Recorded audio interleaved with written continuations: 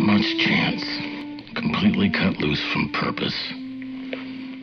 He was a young man riding a bus through North Carolina on the way to somewhere.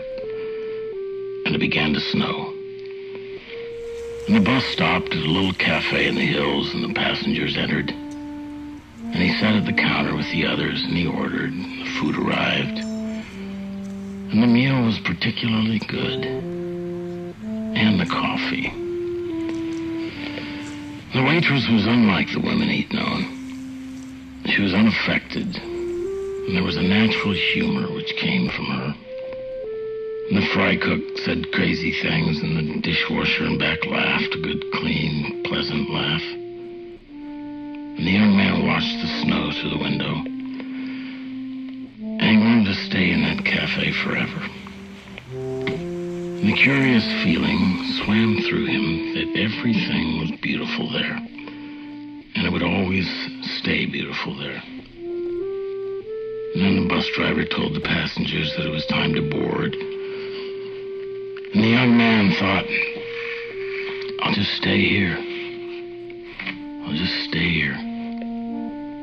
But then he rose and he followed the others onto the bus. He found his seat and he looked at the cafe through the window. And then the bus moved off down the curve, downward, out of the hills. And the young man looked straight forward. And he heard the other passengers speaking of other things, or they were reading or trying to sleep. And they hadn't noticed the magic. And the young man put his head to one side, closed his eyes, and pretended to sleep. Nothing else to do. Just listen to the sound of the engine and the sound of the tires in the snow.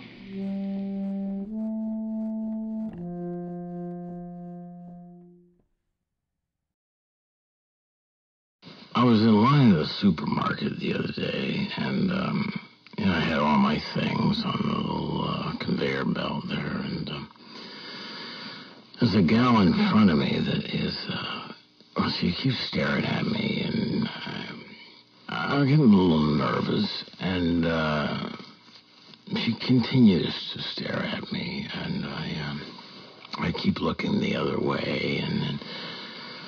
Finally, she comes over closer to me and she says, I, I apologize for staring. It must have been annoying, but I, I, you look so much like my son who died. I, I just can't take my eyes off you. And she proceeds to go into her purse and she pulls out a, a photograph of her son who died, and uh, he looks absolutely nothing like me. In fact, he's Chinese.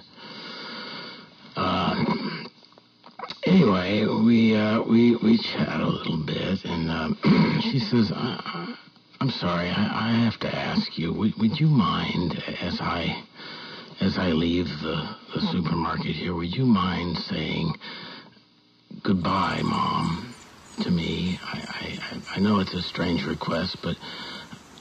I haven't heard my son say goodbye, Mom, to me in so long. It would mean so much to me to hear it. And uh, if, if you don't mind, I, I, I, and I said, well, you know, I, okay, uh, yeah, sure. Uh, uh, I, I can say that. And, and so she uh, gets her, her groceries all checked out and... Um, as she's going out the door, she waves at me and she hollers across the store, Goodbye, son. And I look up and I wave and I say, Goodbye, Mom. And she goes. And uh, so I get my, my, my few things there and the conveyor belt and the, the checker checks out my things and, uh, and he gives me the total and he says, that'll be $479. Um, and, and I said, well, how is that possible? I've only got a little tuna fish and uh, some skim milk and uh, mustard and uh, loaf of bread. He, he goes, well, well, you're also paying the, for the groceries for your mother. She um, told me you'd take care of the bill for her. And I said, well, wait a minute, that, that's not my mother. And he said, well, I distinctly heard her say as she left the store, uh, bye, son. And, and you said, bye, mom. And so what are you trying to, to say here? I, I said, well, Jesus. And I, I looked out into the parking lot, and she was just getting into her car. And I ran out there and she was just closing the door, and she had a little bit of her leg sticking out of the door she was pulling away, and I grabbed her leg and I started pulling it. Just the way I'm pulling yours.